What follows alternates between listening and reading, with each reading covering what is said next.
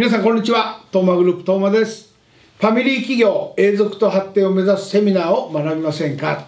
日本のね世界もそうですけどほとんどの企業がファミリー企業です。家族から発展して家族が株主だったり経営者だったりするファミリービジネスです。そのファミリービジネスを永続的に発展させるというセミナーを日経トップリーダーがやっていましてすごく学びになってます。私は次年度も開発しますので、ぜひお勧めしたいなと思っています。で、ファミリービジネスの3つの伝説。成長しないファミリービジネスは短命に終わる。ね、こういうことになるんじゃないかな。世代交代はビジネスより難しい。ね、えー、ビジネスより難しい世代交代ということですね。から時代の変化に勝てるビジネスは稀。時代と喧嘩をしない。まあそういうことをやっぱり考えていかないといけないのかないうふうに私は、え思いますしやっぱりこのファミリービジネスの勉強をね、えやっている、まあ、あのこの川田さんにいろいろと学ばさせていただいております。でアナログ時代のリーダーシップとデジタル時代のリーダーシップのお話をさせていただきます。まずアナログ時代のリーダーシップは失敗許されない。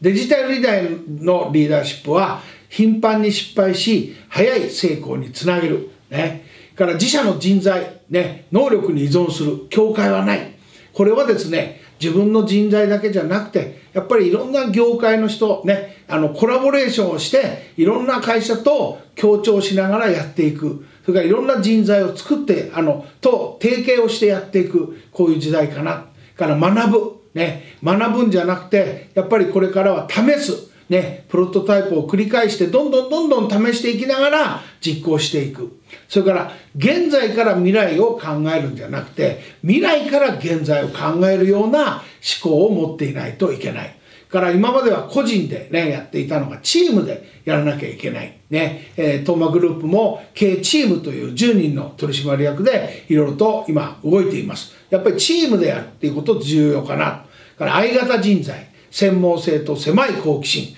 要するにもう狭い狭い世界だけでこうやってる専門性じゃなくてですね、T 型ね、えー、人材、専門性と広いね、えー、好奇心、こういうのを持ちながらやるね、リーダーが必要になっています。から業界他社をベンチマークするんじゃなくて自分の夢をベンチマークしていく夢をやっぱり現実にするようなそういう形のリーダーシップが必要なのかなというふうに思いますそれからこれからのリーダーは失敗を恐れず試し続ける人です。個人でなくチームで広い好奇心を持つ、ね、広い好奇心を持って、えー、まだまだ、まあ、ありますけども、えー、本当に多く学びました。来年も参加したいと思いますけど皆さんのようなファミリービジネスがこれから残っていくためにもやっぱりこのねデジタル型のリーダーシップにね、えー、を学んでそれであのそう進んでいくことが重要かというふうに思います。特にやっぱりね学ぶというとこからもう試すという時代に入ってる。